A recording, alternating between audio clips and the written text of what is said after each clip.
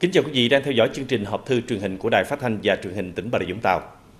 Thưa quý vị, ông Phan Xuân Toan, ngụ xã Phước Tân, huyện Xuyên Mộc, gửi thư đến chương trình họp thư truyền hình trình bày về việc điện lực huyện Xuyên Mộc không chi trả số tiền điện từ nguồn điện năng lượng mặt trời mà gia đình ông đã bán cho đơn vị trong nhiều tháng nay. Phóng viên chương trình đã đi tìm hiểu thực tế vụ việc. Trao đổi với phóng viên, ông Phan Xuân Toan trình bày tháng 6 năm 2018, sau khi được ngành điện vận động, ông có lắp đặt hệ thống điện năng lượng mặt trời áp mái với mục đích giảm tải hệ thống điện lưới nhà nước và phục vụ nhu cầu sinh hoạt của gia đình. Ngành điện cũng thông báo hộ gia đình nào điện xài dư ra sẽ được công ty điện lực Bà Rịa Vũng Tàu mua lại. Tháng 6 năm 2019, công ty điện lực Bà Rịa Vũng Tàu đã ký hợp đồng mua bán điện với ông. Từ đó đến cuối năm 2020, điện lực thực hiện việc chi trả tiền cho ông đều đặn qua tài khoản. Tháng 6 năm 2020, ông tiến hành xây mới lại căn nhà. Khi hoàn thiện, ông nhờ đơn vị thi công di dời hệ thống điện năng lượng mặt trời áp mái cũ sang căn nhà mới. Trong quá trình này, ông được đơn vị thi công tư vấn lắp thêm tấm pin để tăng hiệu quả sản xuất điện và ông đã đồng ý. 3 tháng sau khi lắp đặt, ông vẫn được điện lực chi trả tiền điện. Nhưng sau đó điện lực không thanh toán tiền điện cho ông với lý do là ông không đăng ký bổ sung các tấm pin lắp mới sau này. Ông cho rằng việc này gây thiệt thòi cho gia đình ông vì sau hai lần lắp hệ thống điện năng lượng mặt trời áp mái, gia đình ông phải chi trả gần 200 triệu đồng. Thì đến nay cục không trả tiền cái cũ cái mới. Đề nghị là nhà nước nên quan tâm là tạo điều kiện cho người dân là trả lại đồng số tiền đã phát lên. Và nếu cho lắp tiếp thì cho lắp. Chứ còn tình trạng gây thiệt hại cho nhân dân là phơi sương phơi nắng là tiền không phải tiền của nhà mà vay mượn.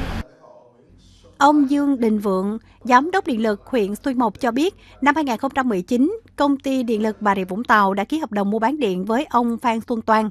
Ngày 15 tháng 3 năm 2021, Điện lực Xuyên Mộc rà soát lại hệ thống điện áp máy năng lượng mặt trời và ghi nhận ông Phan Xuân Toan lắp thêm 12 tấm pin và đấu nối vào hệ thống.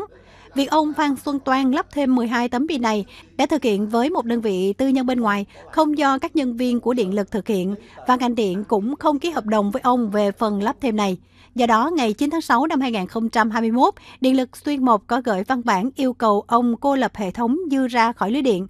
Tháng 9 năm 2021, Điện lực Xuyên Mộc đã đi kiểm tra lại thì ông Toan đã tháo phần pin lắp thêm. Điện lực huyện Xuyên Mộc giải quyết theo hướng chi trả cho ông phần chi phí 5 tấm pin của hệ thống điện năng lượng mặt trời áp máy của ông Toàn đã hòa vào lưới điện. Còn phần dư dư ra do ông lắp thêm 12 tấm pin, điện lực sẽ không thanh toán và truy thu theo quy định của nhà nước. Điện lực Xuyên Mộc đã mời ông Toan lên làm việc và thông báo cách giải quyết, nhưng ông không đồng ý và cũng không ký biên bản. Trong tháng 10 này sẽ tiếp tục mời ông lên và giải thích các quy định như vậy. Và khi anh đồng ý Ờ, các quy định đó hai bên mà uh, tính toán với nhau chấp thuận ký với nhau cái phần truy thu cũng như cái phần phát thừa và cô lập ra thì điện lực sẽ tiếp tục thực hiện các hợp đồng. Cũng theo ông Vượng, theo hướng dẫn mới nhất của Bộ Kế hoạch Đầu tư, từ đầu tháng 1 năm 2022, các hộ gia đình lắp hệ thống điện mặt trời mái nhà có bán điện lên lưới điện nhà nước bắt buộc phải đăng ký ngành nghề kinh doanh sản xuất điện năng lượng mặt trời mái nhà. Do đó, sau khi giải quyết phần chi trả và phần truy thu, nếu ông Toan thực hiện đăng ký giấy phép kinh doanh, thì điện lực mới thực hiện việc chi trả tiền điện năng lượng mặt trời áp máy cho gia đình ông. Vì vậy, theo Điện lực Xuyên Mộc cho biết, ông Phan Xuân Toan cần sớm thực hiện các yêu cầu của Điện lực Xuyên Mộc trong phần giải quyết khiếu nại của ông về việc chi trả số tiền điện mua bán từ nguồn năng lượng mặt trời. Đồng thời sau đó, ông phải đăng ký ngành nghề kinh doanh sản xuất điện năng lượng mặt trời thì mới tiếp tục thực hiện hợp đồng mua bán điện với đơn vị. Dạy ý trao đổi cùng ông. Thân mến chào ông.